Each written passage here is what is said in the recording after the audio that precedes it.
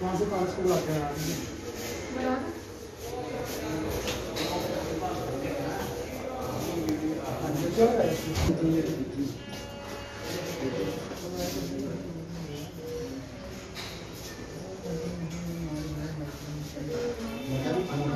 साफ कर दो बच्चा कितना पानी डालो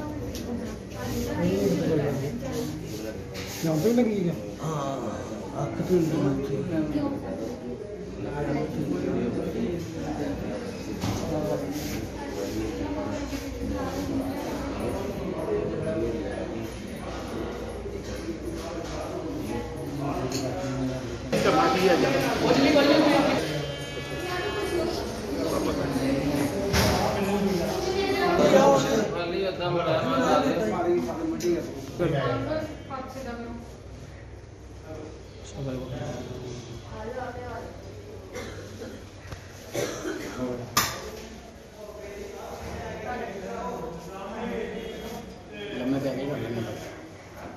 ਨਾਂ ਜੀ ਤੁਹਾਡਾ? ਮੇਰਾ ਨਾਮ ਗੁਰਪ੍ਰੀਤ ਸਿੰਘ ਹੈ ਜੀ। ਕੀ ਗੱਲ ਹੋਈ ਜੀ ਸਾਰੀ?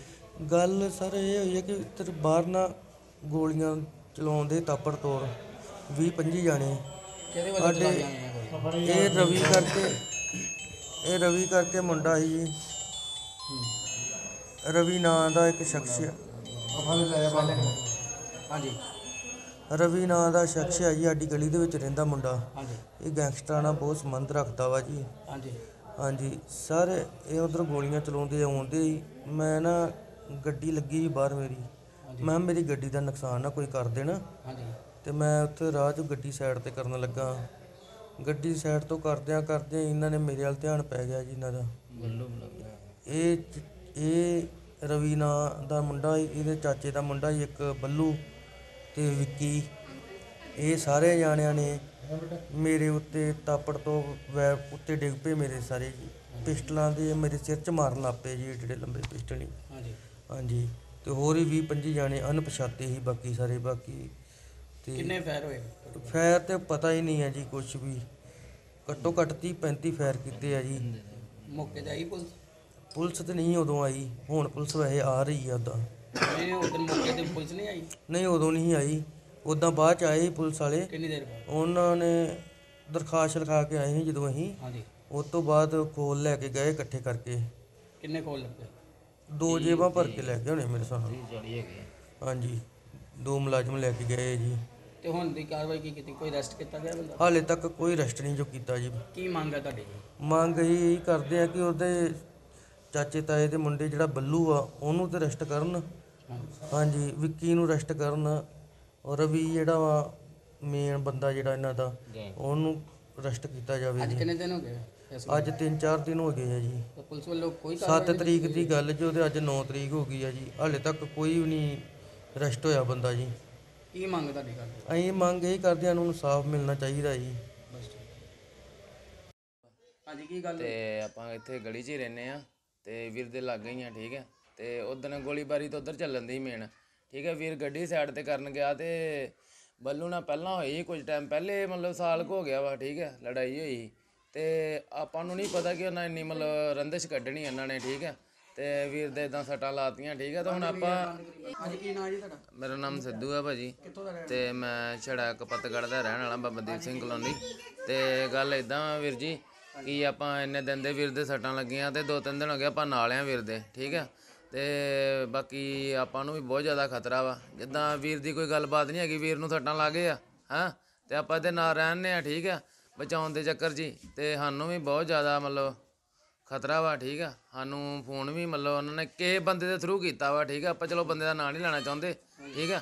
ਤੇ ਭਿੰਦੇ ਨੇ ਫੋਨ ਕੀਤਾ ਵਾ ਕਿ ਮਤਲਬ ਸਿੱਧੂ ਤੂੰ ਸਾਈਡ ਤੇ ਆ ਨਹੀਂ ਤੇ ਆਪਾਂ ਤੇਰੇ ਵੀ ਸੱਟਾਂ ਲਾ ਹਾਂਜੀ ਕੀ ਨਾਂ ਜੀ ਤੁਹਾਡਾ? ਮੇਰਾ ਨਾਮ ਵੀਨਾ। ਕਿੱਥੋਂ ਦੇ ਰਹਿਣ ਕਪੱਤਗੜ੍ਹ ਦੇ। ਹਾਂਜੀ ਕੀ ਗੱਲ ਹੋਈ? ਜੀ ਗੱਲ ਭਾਜੀ ਬਾਹਰ ਗੋਲੀ ਚੱਲਦੀ ਪਈ ਸੀ। ਮੇਰੇ ਹਸਬੰਡ ਕੰਮ ਤੋਂ ਆਏ ਸੀ ਬਾਹਰ ਗੱਡੀ ਲੱਗੀ ਹੋਈ ਸੀ ਉਹਨਾਂ ਦੀ। ਤੇ ਅੰਦਰ ਬੈਠੇ ਹੋਏ ਸੀ ਅਸੀਂ ਮੈਂ ਆਵਾਜ਼ ਸੁਣ ਕੇ ਇਹਨਾਂ ਨੇ ਕਿਹਾ ਮੈਂ ਕਿਹਾ ਬਾਹਰ ਨਾ ਆਇਓ ਬਾਹਰ ਗੋਲੀ ਚੱਲਦੀ ਪਈ ਹੈ। ਤੇ ਇਹਨਾਂ ਨੇ ਸੁਣੀ ਨਹੀਂ ਕਹਿੰਦੇ ਕੋਈ ਨਹੀਂ ਮੈਂ ਗੱਡੀ ਸਾਈਡ ਤੇ ਕਰ ਆਵਾਂ ਕੋਈ ਨੁਕਸਾਨ ਨਾ ਕਰ ਦੇਣ।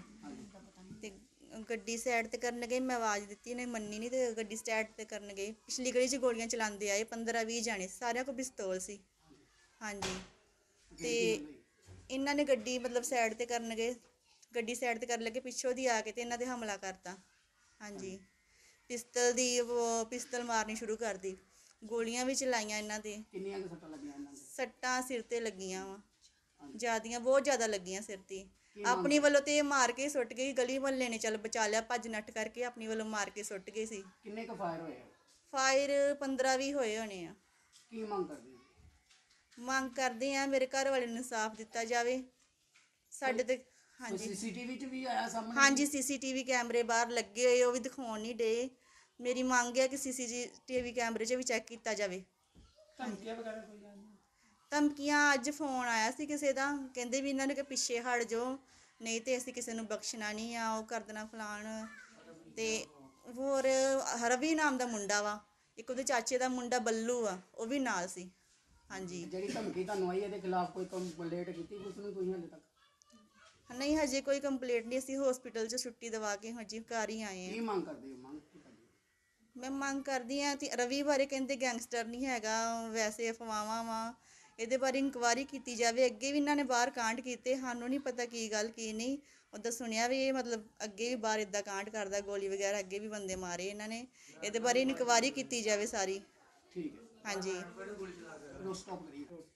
ਅਸੀਂ ਸੁਣਨ ਚ ਆਇਆ ਜੀ ਪ- ਬ- ਹੋਰ ਕਿਤੇ ਵੀ ਗੋਲੀ ਹਾਂਜੀ ਸੁਣਨ ਚ ਆਇਆ ਪਤਾ ਲੱਗਾ ਨਰੈਣਗੜ੍ਹ ਵੀ ਇਹਨਾਂ ਨੇ ਬਹੁਤ ਗੋਲੀ ਚਲਾਈ ਰਵੀ ਦੇ ਨਾਲ ਹੋਰ ਬੰਦੇ ਸੀ ਉਹਨਾਂ ਦਾ ਨਾਮ ਤਾਂ ਮੈਨੂੰ ਪਤਾ ਨਹੀਂ। ਪਹਿਲਾਂ ਵੀ ਕੋਈ ਪਰਚੇ ਦਰਜ ਹੈ ਜੀ ਇਸ ਲੜਕੇ ਦੇ ਹਾਂਜੀ ਹੈਗੇ ਪੁਲਿਸ ਲੱਭਦੀ ਪਈ ਕਿ ਕਿੰਨ ਦੋ ਤਿੰਨ ਤਿੰਨ ਚਾਰ ਵਾਰੀ ਤੇ ਪੁਲਿਸ ਸਾਡੇ ਘਰੋਂ ਇਧਰ ਇਨਕੁਆਰੀ ਪੁੱਛ ਕੇ ਗਏ ਬਾਹਰ ਵੀ ਇਹਦੇ ਬਾਰੇ ਲੱਭਦੀ ਪਈ ਪੁਲਿਸ ਨੂੰ ਅੱਗੇ ਵੀ। ਠੀਕ।